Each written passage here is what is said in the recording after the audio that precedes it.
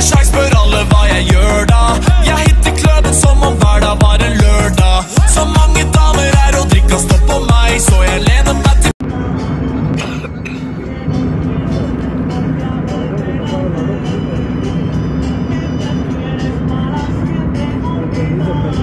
Thank